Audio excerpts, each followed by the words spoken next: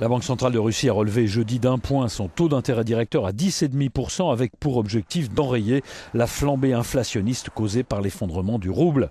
La Banque centrale russe a prévenu qu'elle était prête à poursuivre sur cette voie si nécessaire. Cette décision, annoncée à l'issue de la réunion mensuelle de politique monétaire de l'institution bancaire, n'a pas convaincu le marché puisque le rouble a atteint de nouveaux records de faiblesse à la suite de la décision.